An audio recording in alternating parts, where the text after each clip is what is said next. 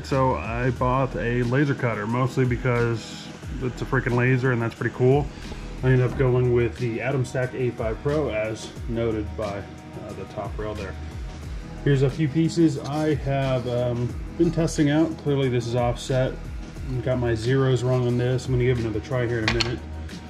Um, but dialing in some other pieces. And here is a tiny, tiny head gasket modeled after the Nissan K24 uh, out of a 240SX. And it came out really, really good. Um, I'm not sure the GoPro is really capturing how how good that is. A little burned on the backside. Air assist would be nice to actually reduce that, but um, yeah, I didn't opt for that. I could always upgrade in the future, so that's a possibility. Another head gasket. I was trying to dial these in. Uh, maybe make some keychains out of these. I thought it'd be pretty cool.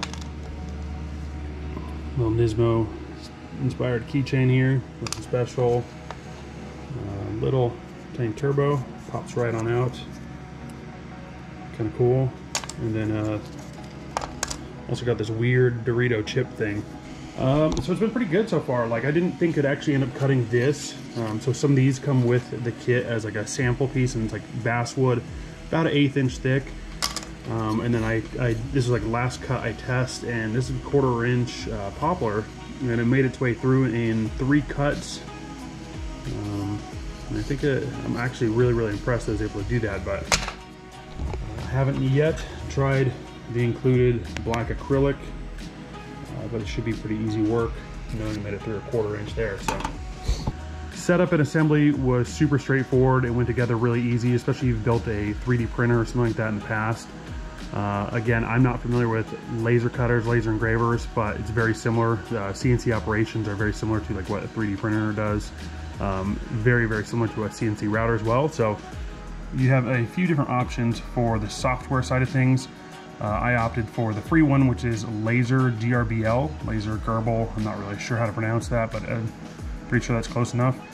Uh, you could also go with Lightburn, which is probably the better option, but it costs $60 for the license. So um, yeah, this is good enough for now. I got a whole bunch of files here ready to roll.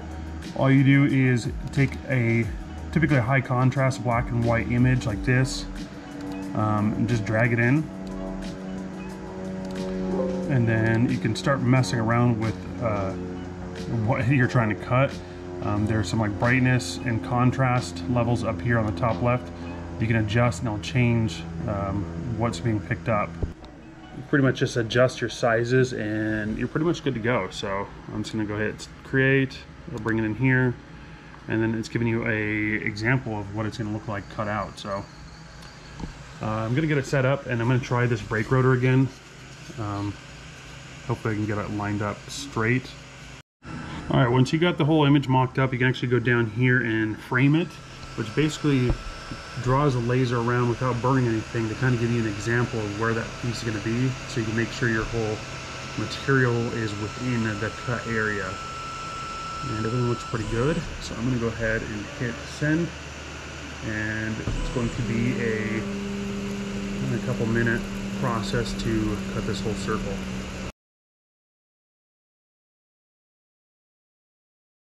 All right, once we get that ring cut out, I'm gonna go ahead and ready up the inner areas that are going to get engraved. Hardwood engraved, ply, same size. Should be good to go. I'm gonna hit, go ahead and hit frame again. Make sure it's in the same ballpark and hopefully it's the same area. Looks pretty good. So we can go ahead and, oh, that is off maybe.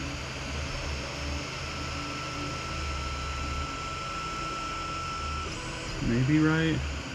That might be right. Fingers crossed. I'm just gonna hope for the best here.